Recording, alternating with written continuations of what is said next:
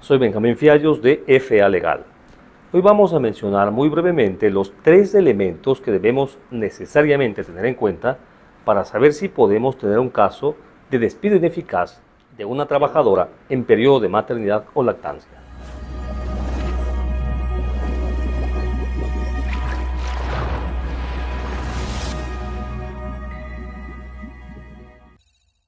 Como todos sabemos, el despido ineficaz es una figura legal que se contempla en el artículo 195.1 del Código del Trabajo y que fue introducido en el mes de mayo del año 2015.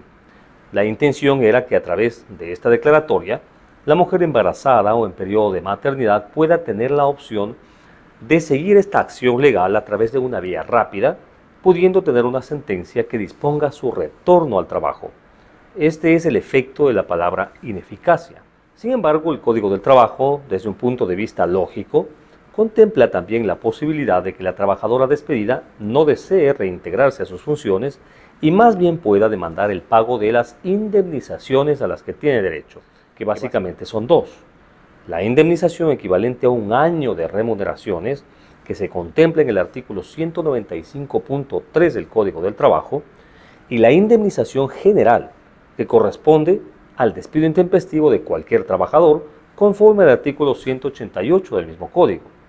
Esto por supuesto además de la liquidación normal y el pago de todo lo que le estén adeudando a la trabajadora. Todo esto con un procedimiento, repito, relativamente rápido y especial. Sin embargo, existen varios asuntos que hay que observar a fin de determinar si podemos tener un caso de despido ineficaz. El primero es el tiempo transcurrido desde el despido. Esto debido a que el artículo 195.2 del Código del Trabajo determina que la trabajadora afectada debe deducir su acción máximo en 30 días. Esto constituye un tiempo sumamente corto para poder asesorarse adecuadamente, estudiar el caso y conseguir las pruebas necesarias, elaborar y armar una demanda convincente para finalmente lograr que el juez de trabajo la admita.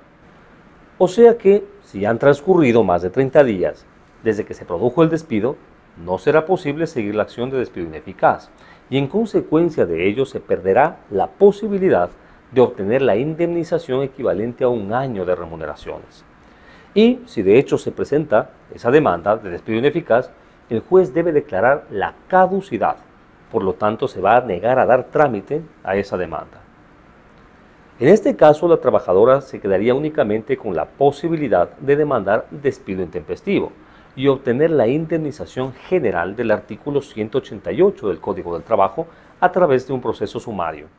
El segundo requisito es que el empleador tenga conocimiento del estado de gestación. La trabajadora es la responsable de probar que su patrono conocía de su embarazo. Esto puede darse de dos maneras.